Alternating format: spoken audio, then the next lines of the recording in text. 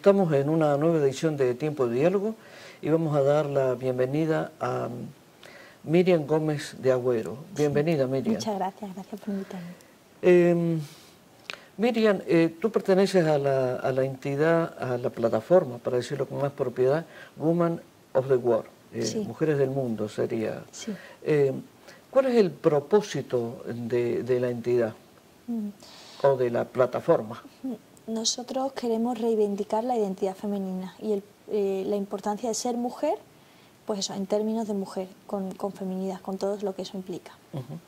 Cuando, cuando se habla de femineidad, eh, es una palabra muy parecida a, femeni- a, fem- a feminismo, pero no significan exactamente No, lo mismo. son- yo creo que son bastante diferentes, sí, claro, sí. aunque sean parecidas, no es lo mismo. Eh, ¿En qué las distinguirías? Bueno, o, o a- pongamos el acento de la femineidad.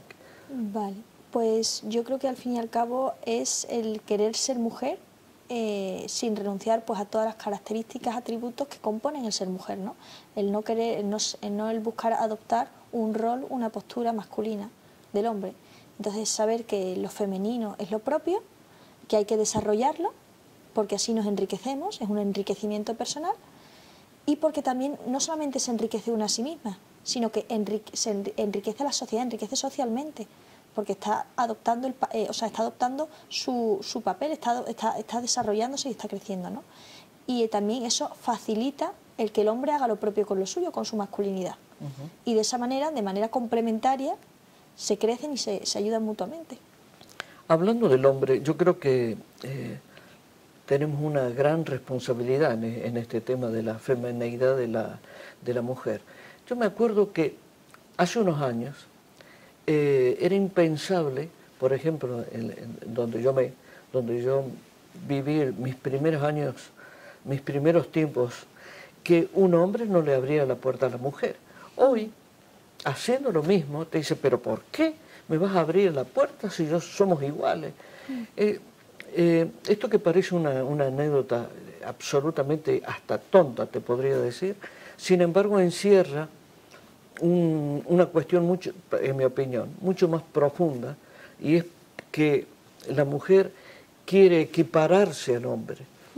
Y yo creo que ahí está el gran error. Es decir, la mujer es mujer, el hombre es hombre. El hombre le debe respeto a la mujer y esa es esa manifestación de la puerta que yo mencioné, eh, es una manifestación de, de respeto, de atención eh, hacia la mujer. Eh, ¿Cómo lo ves? Yo pienso que efectivamente lo que se está, o lo- a lo que ha derivado el feminismo, que no la feminidad como comentamos, es a buscar en cualquier comportamiento, en cualquier pauta humana, una forma en la que el hombre eh, está, está teniendo un trato vejatorio hacia la mujer. ¿no? Entonces yo creo que buscar siempre los puntos negros en, toda, en cada parcela de la vida, yo creo que no es una, actitud muy positiva de ver la vida, a, a nivel práctico en general. ¿no? No, pero luego ya siendo más concreto, yo creo que al fin y al cabo lo que hace es dañar la propia relación de hombre y mujer, porque partiendo de la base que desde la educación y el respeto mutuo mm, la convivencia se hace más fácil, hay ciertos detalles y cierta y el quedarse enquistado en, en acompañar pues lo que tú decías de abrir la puerta no o acompañar a casa por la noche. No es por una capacidad no es una cuestión de el que dejarse hacer o el dejarse no hacer. Es una cuestión de pues de tener un detalle y tal. Igual que hay ciertos detalles que a lo mejor tradicionalmente el hombre ha hecho a la mujer también hay de- detalles que la mujer tiene con el hombre. O sea que no es una cosa de solamente dejarse luego, desde sino luego. que es una cosa mutua no y entonces en ese sentido eso yo pienso que el querer equipararse a- al hombre, el que, querer adoptar ese rol como de, pero no, yo no diría, yo diría igualdad corta- cortada a ras, ¿no? Porque no lo, ya- ni siquiera lo llamaría igualdad. Es querer hacer dos muñecos iguales, que no somos iguales, no lo Desde somos. luego. Gracias a Dios que no somos iguales. Sí, sí, yo, yo, lo, yo lo he dicho muchas veces, yo, yo soy mujer y estoy muy contenta de ser mujer, yo, yo creo que no podría ser hombre. Claro, claro, Y no- me lo, no me lo imagino, la verdad es que y estoy muy contenta y me imagino que a ti te pasará lo mismo. Desde luego, desde luego, muy contento. No, además cada uno, cada uno tiene, tiene su rol. Yo creo que en el fondo lo que se ha perdido es eso, el, ese- esa, esa zona blanco y negro se ha convertido en gris y por eso estamos hablando del género. Es decir, esto de decir señoras y señores y tratar de buscarle el femenino a todo, a todo eh, hasta es culturalmente aberrante, porque hay algunas palabras que, eh, si uno dice los hombres, no estamos hablando en contra de la mujer, estamos hablando genéricamente, o, las mujeres, también puede, puede decirse.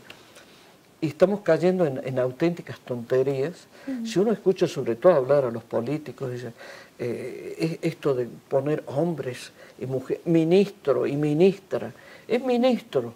Bueno, eh, en realidad quien tiene que hablar de esto. No, no, o sea, yo entiendo perfectamente y comparto, pues, sí, lo que quieres decir de que al fin y al cabo es eso, es buscar, mm, es perdernos en los detalles. ¿Qué es, lo, qué, es lo importante? Si lo que uno quiere resaltar es la dignidad femenina y el derecho de la mujer, el derecho desde el punto de vista jurídico, ¿sabes? Pues a una igualdad, fantástico, estamos de acuerdo. Ahora, eh, si, lo que, si esa igualdad supone un menosprecio a la otra parte o supone mm, ya que cada vez que uno va a hacer cualquier cosa hay que apretarle la tuerca y buscar el tornillo porque bueno el concepto este de micromachismo ¿no? de que cada cosa que hay alrededor nuestro que funciona alrededor nuestro es un micromachismo pues entonces ya uno tiene que estar con un cuidado de, de no de prestar atención a cualquier cosa ¿no? y sobre todo porque al fin y al cabo si una mujer se siente mujer y quiere hacer algo en defensa de la mujer y poniendo en alza el valor de la mujer, lo que tiene que hacer justamente es abrazar esa identidad femenina. Y abrazar esa identidad femenina y no perderse en los detalles de, cosas que son secundarias. ¿no? Vamos a lo principal. ¿Qué supone ser mujer? Desde luego.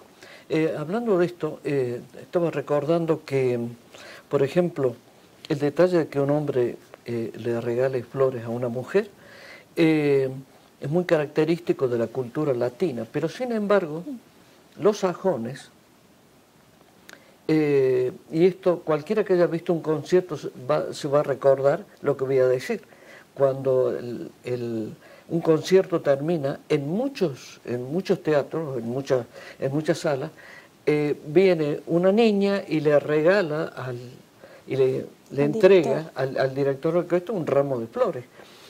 Eh, es decir, eh, es, es, es, un gesto, eh, no, no, tiene más importancia que eso, es, un, es una manera de reconocer algo. Eh, yo creo que efectivamente nos estamos perdiendo en, los detalles y además lo que es más preocupante con la cuestión del género, si me permites el comentario, es que yo creo que va en contra de la familia, porque si somos tan rigurosos en defender a la mujer, en Occidente, ¿por qué no la defendemos en los países árabes, en los países musulmanes? ¿Por qué no la defendemos en China? ¿Por qué no la defendemos en la India? Eh, esta es la impresión que produce, que solamente es en una determinada área, en una determinada región del mundo, donde los derechos de la mujer parecen que deben ser eh, los derechos de la igualdad del género y también ciertos derechos, porque no se pelea por todas las cosas. Yo estoy totalmente de acuerdo contigo ahí. O sea, yo pienso que con tal de imponer, y yo lo digo así, imponer ciertos componentes ideológicos o ciertas ideas, ciertas ideas, cierta forma de pensar, imponer un rol a la mujer que no es el suyo, al fin y al cabo estamos perdiendo eh, la visión y estamos perdiendo, mm, estamos pasando están pasando desapercibidos problemas que realmente son problemas en otras partes del mundo, incluso también en España. Y entonces uno se centra y se focaliza y se obceca en un discurso y así, y así, y así, y esto, y esto, y esto, y esto, y esto.